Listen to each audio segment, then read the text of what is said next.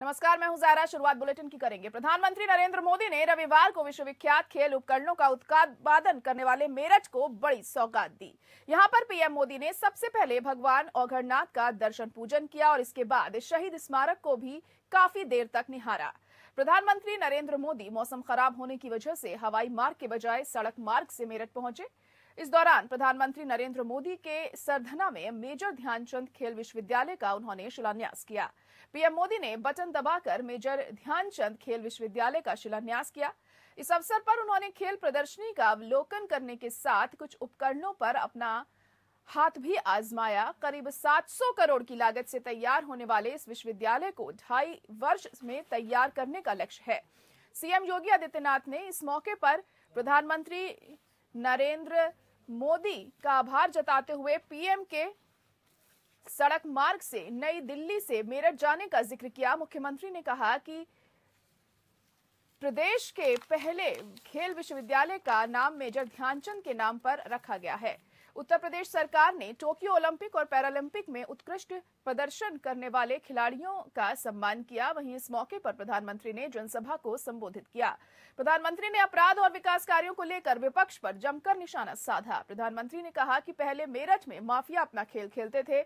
उन्होंने कहा कि पहले की सरकारों की वजह से मेरठ से पलायन हुआ और पहले की सरकार में अपराधी यहाँ खेल खेलते थे।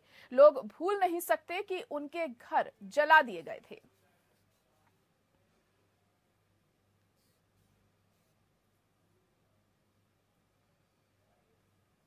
इस यूनिवर्सिटी का नाम मेजर ध्यानचंद जी से जुड़ जाता है। तो उनका पराक्रम तो प्रेरणा देता ही है, लेकिन उनके नाम में भी एक संदेश है। उनके नाम में जो शब्द है ध्यान बिना ध्यान केंद्रित किए, बिना फोकस एक्टिविटी किए कभी भी सफलता नहीं मिलती। में आपने देखा होगा, आदरणीय प्रधानमंत्री जी के मार्गदर्शन में सांसद खेल प्रतिस्पर्धा देश के हर संसदीय क्षेत्र में हुआ। ग्रामीण स्तर से लेकर के जनपद स्तर तक हज़ारों खिलाड़ी एक एक संसदीय क्षेत्र में अलग अलग खेलों में उन्होंने अपने आप को आगे बढ़ाने का एक अवसर देखा। अभूतपूर्व सफलता उसके माध्यम से भी प्राप्त हुई।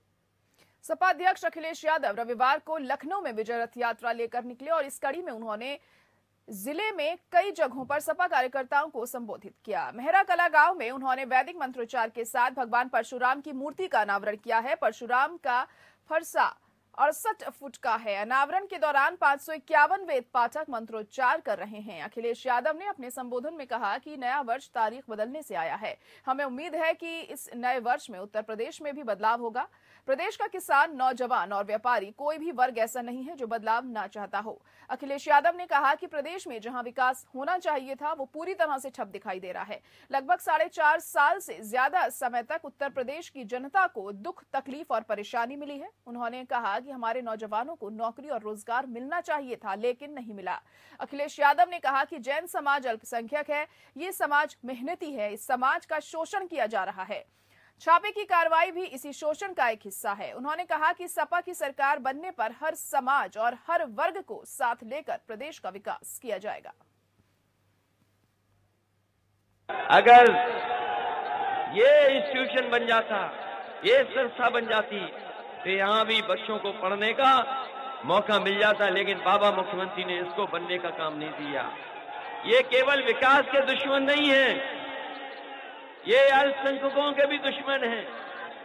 और ये बात मैं इसलिए कहता हूँ, अल्पसंख्यकों के दुश्मन, जिस समय ये सरकार में आए, पूरे दिल्ली की लोकसभा में और उत्तर प्रदेश की विधानसभा में बैठने के लिए एंग्लो इंडियन लोगों के लिए रिजर्वेशन था। उस रिजर्वेशन को अगर किसी ने खत्म किया है तो ये भारतीय जनता पार्टी ने है